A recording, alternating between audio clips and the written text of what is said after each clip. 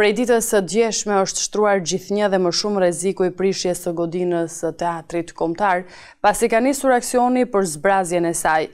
Edhe pas mesnatës së djeshme artistët kanë qenë te sheshi i teatrit pasi ishin njoftuar nga administrata se mund të kishte një zhvendosje masive të sendeve prej aty.